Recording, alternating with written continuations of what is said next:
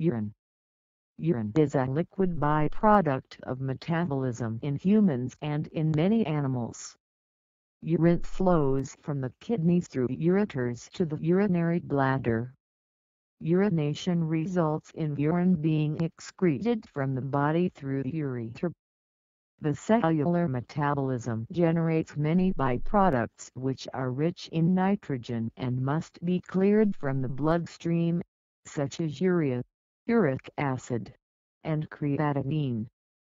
These byproducts are expelled from the body during urination, which is the primary method for excreting water-soluble chemicals from the body. A urinalysis can detect nitrogenous wastes of the mammalian body. Urine has a role in the Earth's nitrogen cycle. In balanced ecosystems urine fertilizes the soil and thus helps plants to grow. Therefore, urine can be used as a fertilizer. Some animals use it to mark their territories. Historically, urine was also used for gunpowder production, cleaning, tanning of leather and dyeing of textiles.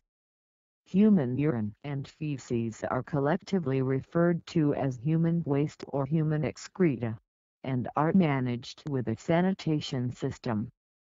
Livestock urine and feces also require proper management if the livestock population density is high.